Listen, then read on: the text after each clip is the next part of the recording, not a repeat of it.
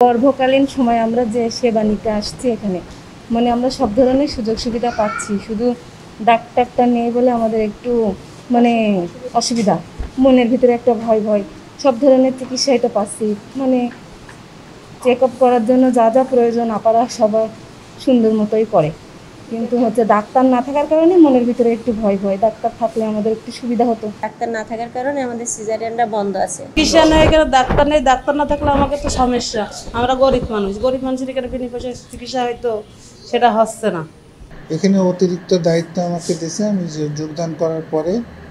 এখানে মূলত থাকার কথা একজন মেডিকেল অফিসার একজন মেডিকেল অফিসার ক্লিনিক একজন মেডিকেল অফিসার এমসিএস এফপি ছয় চার চার থেকে ছয়জন এফডব্লিউবি সহ অন্যান্য মানে কর্মচারীরা। আমি এখানে আসার পরে এই পদে আসলে কোনো ডাক্তার এখানে নাই। এফডব্লিউবি চারজন ছিল। চারজনের ভিতরে একজন এখানে দীর্ঘদিন যাবৎ আছে। আর কয়জন তিনজন নতুন নিয়ে আসছিল। এখান থেকে দুইজন গত বিশ তারিখে তাদের স্ব স্থানে পদায়ন করা হয়েছে, যে স্থানে তাদের চাকরি সেই স্থানে। ঊর্ধ্বতন কর্তৃপক্ষের কাছে তো আমাদের রিপোর্ট যায়। আমি যে গতকালেও গতকালেও ঢাকা গিয়েছিলাম, সেখানে আমাদের ডিজি স্যার সহ আমাদের মন্ত্রণালয়ের অতিরিক্ত সচিব স্যার সহ, আমাদের ডাইরেক্টর অ্যাডমিন স্যার এবং অন্যান্য সব গুরুত্বপূর্ণ মানুষ কর্মকর্তা, সম্মানিত কর্মকর্তা তারা ছিলেন। সেখানে কিন্তু আমাদের যে ম্যান পাওয়ারের বিষয়টা সারা বাংলাদেশে আলো, আলোচিত হয়েছে এবং প্রক্রিয়াধীন আছে আমাদের যে মাঠ পর্যায়ের যে নিয়োগ। সেই নিয়োগগুলো কিন্তু এখন জেলা পর্যায়ে জেলা পর্যায়ে সেগুলো, যেগুলো নিয়োগযোগ্য, সেগুলোতে নিয়োগের কার্যক্রম চলছে। তা আমরা তালিকা তৈরি করেছি। তালিকা তৈরি করা হয়েছে। এখন আমরা এই যে আবেদনপত্রগুলো টেলিটক, টেলিটকে সে পাঠানোর জন্য আমরা চূড়ান্তভাবে প্রস্তুত আছি। আমাদের নিয়োগ বিজ্ঞপ্তি তৈরি আছে। তো টেলিটকের লিঙ্কটা আমরা আশা করছি যে পেয়ে যাব এবং পেয়ে গেলেই কিন্তু আমরা এখানে মোটামুটি চব্বিশ জনের একটা নিয়োগ হয়ে যাবে।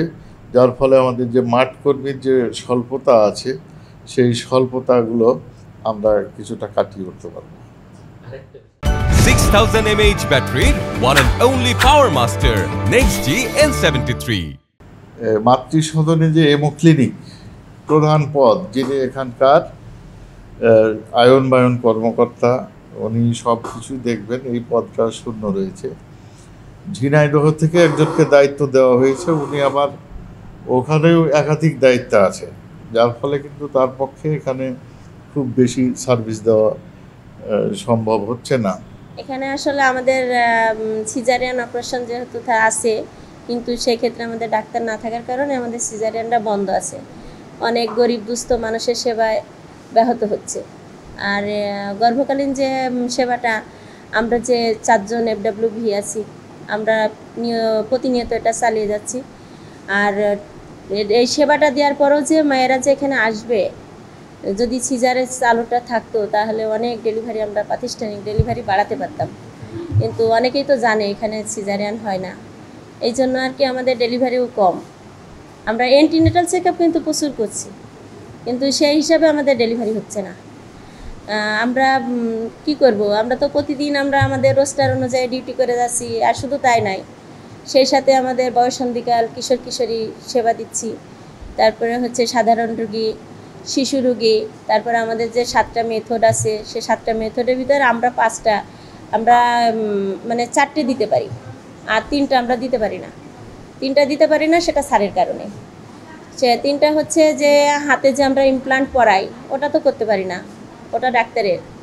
তারপরে স্থায়ী পদ্ধতি আছে টিউবেকটমি এবং ভেসেকটমি যেটা পুরুষের ভেসেকটমি মহিলাদের টিউবেকটমি এটা তো ডাক্তার ছাড়া হয় না। আমরা যেমন দিয়ে থাকি সিটি, খাবার বড়ি, তারপর নিরাপদ ইঞ্জেকশন এগুলো আমাদের হাতে, এগুলো আমরা চালাচ্ছি, চলমান।